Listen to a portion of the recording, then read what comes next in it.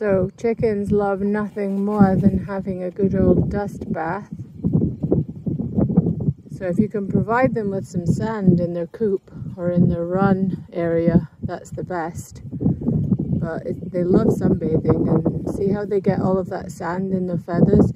Actually helps with mites and things like that. So it's great. Look at them. Silly chooks. There's always a row of them here and I actually provided them with quite a large uh, dust bath because it is our indoor riding arena. But they absolutely love it.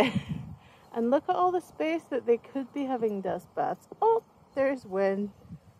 But no, all of this space. And where are they? They all pile in about a three feet section. by the corner. Silly chooks.